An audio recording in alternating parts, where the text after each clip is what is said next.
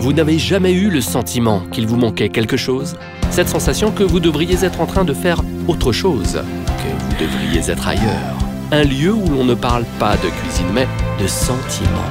Là où le vide vous comble entièrement. Là où au beau milieu de rien, vous n'avez besoin de rien d'autre. Ce que vous ignoriez de vous-même se trouve au Pérou. Venez vous découvrir. Pérou, terre de trésors insoupçonnés.